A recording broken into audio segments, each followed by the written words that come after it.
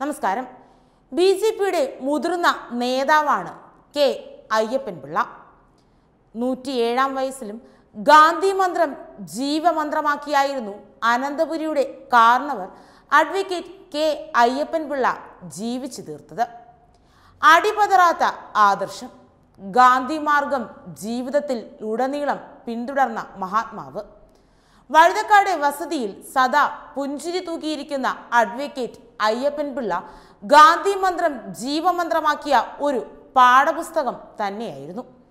തലമുറകൾക്ക് വായിച്ചു പഠിക്കാവുന്ന നല്ല പുസ്തകം. കുട്ടിക്കാലത്ത് മനസ്സിൽ പതിഞ്ഞ ഗാന്ധി എന്ന രണ്ടക്ഷരത്തെ ഹൃദയത്തിൽ സൂക്ഷിച്ച മനുഷ്യൻ.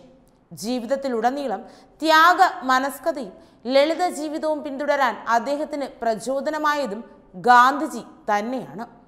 ആയിരത്തി തൊള്ളായിരത്തി മുപ്പത്തിനാലിൽ മലബാറിൽ നിന്നും ഹരിജനയാത്രയുമായി തലസ്ഥാനത്ത് വന്നപ്പോഴാണ് അയ്യപ്പൻ പിള്ള ഗാന്ധിജിയെ ആദ്യമായി കാണുന്നത്. അധികം ആർക്കും കിട്ടാത്ത ആ വലിയ ഭാഗ്യം തന്നെയായിരുന്നു അയ്യപ്പൻ പിള്ളയുടെ മനസ്സിൽ നിറയെ. വിശ്രമ ജീവിതത്തിലായിരുന്ന അയ്യപ്പൻ പിള്ള എന്ന വന്ധ്യ വയോധികനെ കഴിഞ്ഞ വർഷം പ്രധാനമന്ത്രി നരേന്ദ്രമോദി ടെലഫോണിൽ വിളിച്ച് സൗഹൃദം പുതുക്കിയപ്പോൾ ആ മനസ്സ് ഒരുപാട് സന്തോഷിച്ചിരുന്നു. ബി ജെ പി ദേശീയ നേതാക്കളായ അടൽ ബിഹാരി വാജ്പേയി ലാൽകൃഷ്ണ അദ്വാനി എന്നിവർക്കൊപ്പം പ്രവർത്തിച്ച നേതാവാണ് അഡ്വക്കേറ്റ് കെ അയ്യപ്പൻപിള്ള.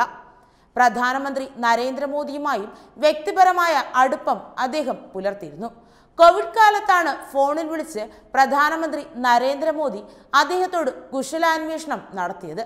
ഇത് ഏറെ വാർത്താശ്രദ്ധ നേടിയിരുന്നു.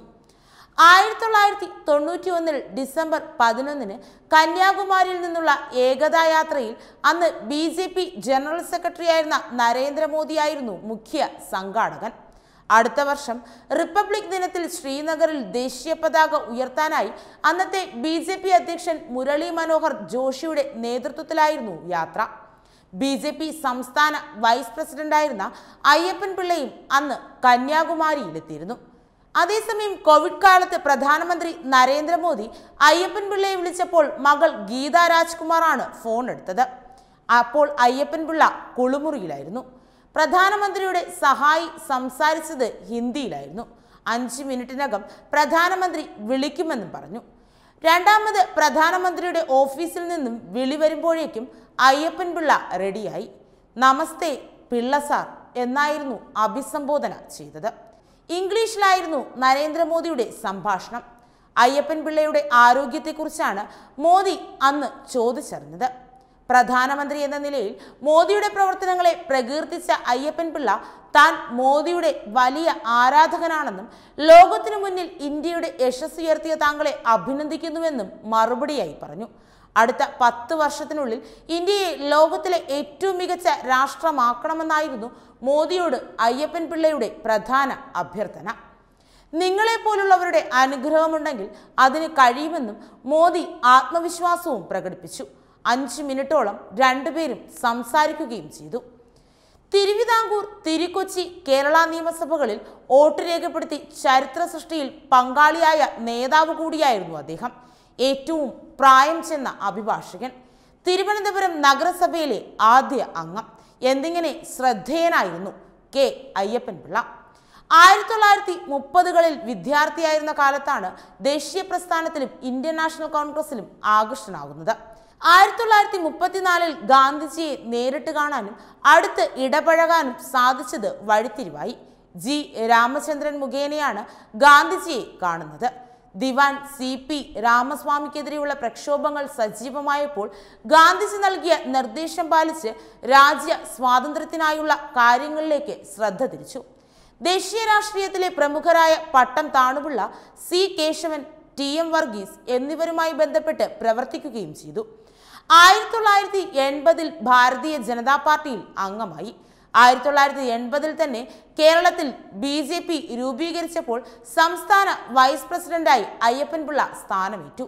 ആയിരത്തി തൊള്ളായിരത്തി പതിനാല് മെയ് ഇരുപത്തിനാലിന് കാർത്തിക നക്ഷത്രത്തിൽ വലിയശാല മുണ്ടനാട് കുടുംബത്തിലാണ് അദ്ദേഹം ജനിച്ചത്.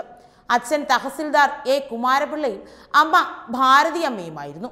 സംസ്ഥാനത്തിന്റെ വിവിധ ഭാഗങ്ങളിലായിട്ടായിരുന്നു വിദ്യാഭ്യാസം.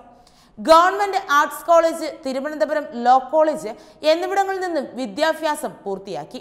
സ്റ്റേറ്റ് കോൺഗ്രസിന്റെ സജീവ പ്രവർത്തകൻ എന്ന നിലയിൽ Paravur T K A J John എന്നിവരോടൊപ്പം എറണാകുളം എസ്റ്റേറ്റ് കോൺഗ്രസ് പ്രവർത്തനങ്ങളിൽ മുഴുകി. ആയിരത്തി തൊള്ളായിരത്തി നാൽപ്പതിൽ അറസ്റ്റ് വരിച്ചു. ആറുമാസം അദ്ദേഹം ഒളിവിലായിരുന്നു. ആയിരത്തി തൊള്ളായിരത്തി നാൽപ്പത്തി രണ്ടിന് ശേഷം പ്രാക്ടീസ് ആരംഭിച്ചു. തിരുവനന്തപുരം നഗരസഭയിലെ ആദ്യ കൗൺസിലർ എന്ന നിലയിൽ വലിയ ശാലയിൽ നിന്ന് തിരഞ്ഞെടുക്കപ്പെട്ടു. ശ്രീചിത്ര സ്റ്റേറ്റ് കൗൺസിലിലേക്ക് നഗരസഭയെ പ്രതിനിധീകരിച്ച് തെരഞ്ഞെടുത്തതും കെ അയ്യപ്പൻ പിള്ളയായിരുന്നു ഇത്തരത്തിൽ നിരവധി പ്രമുഖ സ്ഥാനങ്ങളിൽ നിന്ന് പ്രവർത്തിച്ച മഹത് വ്യക്തിത്വമായിരുന്നു കെ അയ്യപ്പൻ പിള്ള അദ്ദേഹത്തിന്റെ വിയോഗം തീർത്തും തീരാ നഷ്ടം തന്നെയാണ്. വെബ് ഡെസ്ക് തത്തുമീ ന്യൂസ്.